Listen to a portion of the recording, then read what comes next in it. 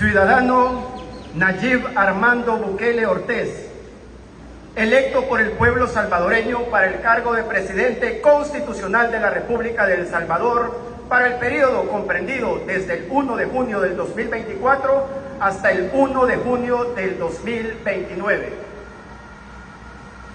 Jura usted, bajo palabra de honor, ser fiel al mandato del pueblo, protegiéndolo de cualesquiera obstáculo o amenaza y asegurando un mejor porvenir para los salvadoreños, así como cumplir la Constitución de la República y demás leyes que aseguren los derechos establecidos en la Carta Magna?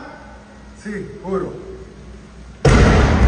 Si así lo hiciere, que la patria lo prieme, y si no, que ella lo demande.